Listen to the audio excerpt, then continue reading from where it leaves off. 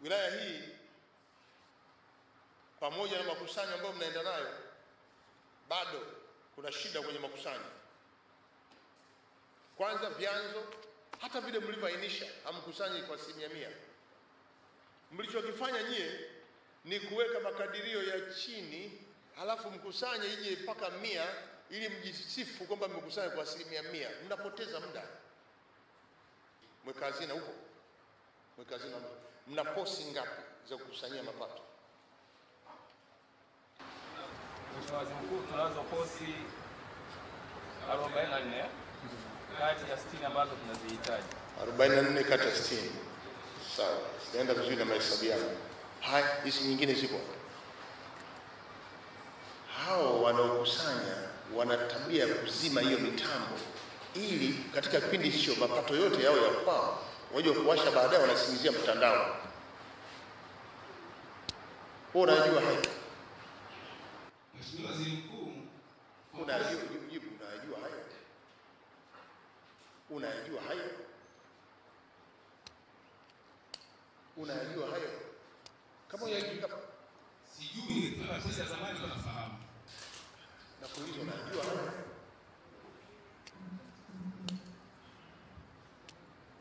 Kwa sehemu nafahamu. Unajua hayo? Mheshimiwa- Sasa kwa nini unasema mimi nataka uniambie unajua hayo? Sijui. Na mweka hazina ndio mkuu wa sekta ya fedha, na yuko na maafisa mapato huko wanafanya kazi ya kukusanya. Mweka hazina sio wa kukaa ofisini, lazima aende kupita kuona haya. Leo wanasema hayajui. Mimi nijuaje kama baadhi ya posti huwa zinazimwa na watu wanasingizia mitandao? Kwa kuna mtandao, yale maeneo nyeti ya kukusanya, watu wanachelewa kufika vituoni, baadhi ya mapato yanapatikana, lakini mpango tu. Mweka hazina hospitali yetu ni ya thamani gani? Mmeambiwa mjenge hospitali ya shilingi ngapi? Mmetengewa shilingi ngapi nyinyi? Hospitali zetu za wilaya zinajengwa kwa fungu kutoka hazina, au nyewe mlitakiwa mjijengee wenyewe?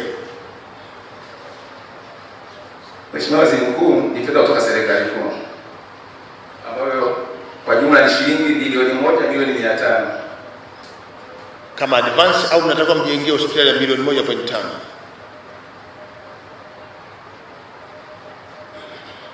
Samahani, Huo mchoro wenu una thamani gani? Mheshimiwa Waziri Mkuu, nitaomba mtu wa ujenzi kwa maana ya mchoro aweze kunisaidia. Huwezi kuruhusu mradi uendelee, wewe ndio mtu wa pesa, alafu useme ujui mpaka umlete mtu wa, wa, wa, wa nini. Niambie mweka hazina, huo mchoro huo uligharimu shilingi ngapi? Mheshimiwa Waziri Mkuu, mchoro ulikuwa shilingi bilioni moja milioni mia tano. Na mnatakiwa kujenga hospitali kwa majengo hayo kwa thamani hiyo. Kwa mchoro wa kwanza ilikuwa ndio hivyo, Mheshimiwa Waziri Mkuu. Mlibadilisha mchoro?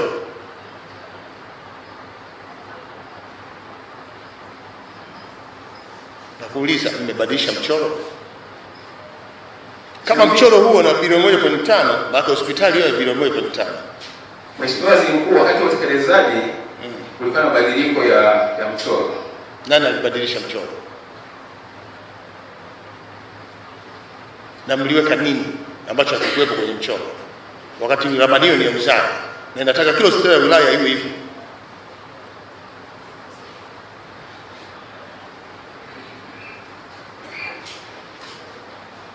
Nakuuliza, nakuuliza nani ambadilisha mchoro na mmeweka nini ambacho hakikuwepo, wakati serikali imesema mchoro ni huo?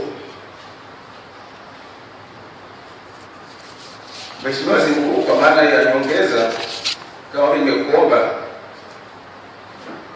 naomba ukiridhia mtu wa wa ujenzi aweze kunisaidia hizo nyongeza za mahitaji ya fedha. Mheshimiwa Waziri Mkuu, Mtu wa ujenzi yeye yeah, anakwenda kusimamia ujenzi wa mchoro ulioletwa, ndio kazi yake, kusimamia ujenzi, ubora na mchoro kama ulivyochorwa, ulivyoletwa.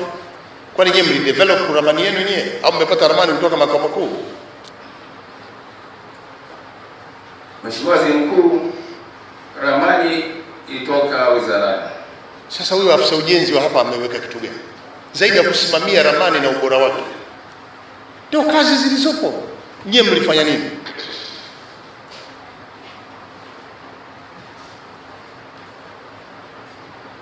Eh, niambie bila kuuliza wewe. Na mmeambiwa mjenge jengo hilo kwa force account. Mnalijenga kwa force account? Mnajenga kwa force account? Mheshimiwa Waziri Mkuu, ndio tunajenga kwa njia ya force account. kama ni force account na mlitengewa bilioni moja pointi tano inayotosha kwa mfumo huo. Mwandishi wako ameniambia mmeongeza hela kutoka ndani ya halmashauri, unakubaliana na mimi? Ni kweli Mheshimiwa Waziri Mkuu, Mmeongeza shilingi ngapi? zaidi ya milioni mia tatu. Kwa nini? Kwa sababu kituo cha afya ni milioni mia tano maximum, na unajenga theater, OPD, unajenga pia unajenga na, na, na, na ma- lab, laboratory, unajenga jengo la mama na mtoto, unajenga nyumba ya mhudumu ya, ya, ya mkuu wa kituo, unajenga na nyumba ya waliotangulia mbele za haki, kwa maana muchware, unajenga na kichomea taka milioni mia tano huo umeongezwa bilioni zaidi, ndio kwa sababu ya hospitali ya wilaya. Nyie mmepata advance mjenge, alafu mmechelewa kutumia, zimerudi, lakini huwa hazirudi forever kwa sababu mmeshapewa mradi. Wewe umechukua za ndani, sawa, akili mzuri sana umeifanya, lakini umekopa, utairudisha na huku unasema umeiomba. Je, ikija ile utairudisha? Nataka commitment kwako kwa Mheshimiwa Diwani. Mheshimiwa Waziri Mkuu, ile fedha ambayo kutoka serikali kuu ikifika, Mm. ile ambayo tulishua kutoka mapato ya ndani ikarejeshwa. Hainiambie mpaka leo umetumia shilingi ngapi pale? Mpaka leo hii umetumia shilingi ngapi pale?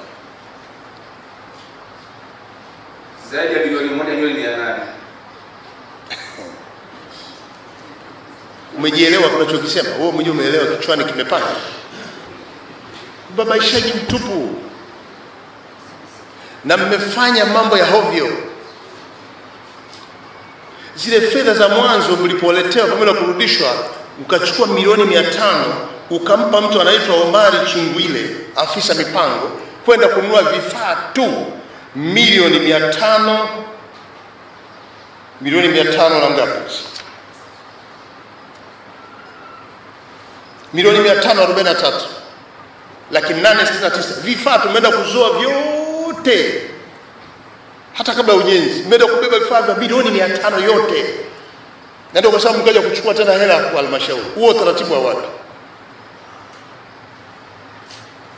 Kwenda kununua vifaa vya shilingi bilioni mia tano. Kwanza mlivyoweka wapi? Vifaa vya milioni mia tano. Mliweka bohari gani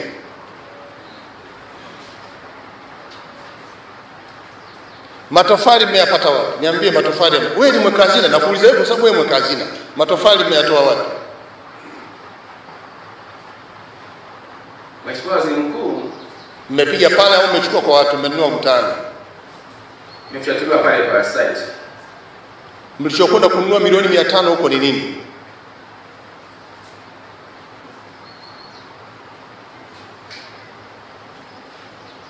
Ndio kwa sababu mkalazimisha kuchukua hela ya halmashauri ili mmalizane kwa mambo yenu nje ya utaratibu. Chingwile yupo? Chingwile yupo? Alikuwa anajua hapa hawezi kuja. Mwezi wa saba wewe ulikuwepo. Ni kweli. Chinguile ndio alikuwa anasimamia manunuzi huko. Chinguile alijipa zabuni ya kupeleka mchanga na kokoto, sawa, kama na kampuni yake huko ifanye vizuri, lakini kufanya ndani ya halmashauri unatengeneza conflict of interest.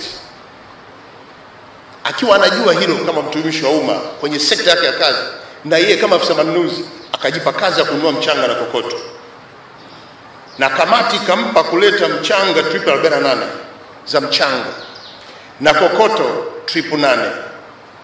Wewe mweka upo mwezi wa saba, akaleta trip 48 za mchanga, kokoto moja mpaka leo hii, mpaka tarehe tatu ameleta trip moja kokoto na amejilipa milioni kumi na mbili. Haya ninayosema na ukweli nayo. Chunguile alijipa ile zabuni ya kupeleka mchanga na kokoto, tukampa trip 48 mchanga na kokoto trip 8 na tumemlipa milioni kumi na mbili. Haya, Chingwile yuko wapi? Tuliyemlipa fedha ni Hasani Joseph Kidunga, eh, dereva wake.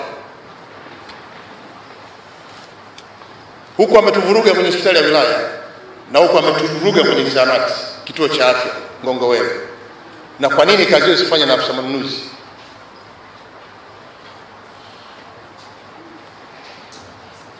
Hatuvumilii watu wa namna hii. Mkuu wa mkoa ulichukua hatua gani? Achunguze na TAKUKURU. Huwezi kumchunguza akiwa kazini, akae pembeni, akae pembeni ili TAKUKURU ifanye kazi yake. Injinia pale anasema anahitaji tena milioni mia tatu wakamilisha hospitali ya wilaya, huku mlisha mna mgao wa bilioni moja pointi tano mmechukua hela ya madiwani mmeiweka hapo, mnataka kuomba tena milioni mia tatu kutoka mapato ya ndani. Nyie